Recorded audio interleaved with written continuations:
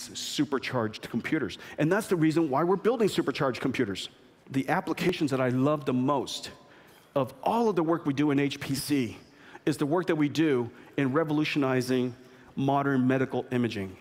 Well, whether it's CT, computer tomography, magnetic res resonance, ultrasound, mammography, which is low dose x rays, the positron emission, PET, each one of these modalities of medical imaging has been revolutionized recently using computational approaches.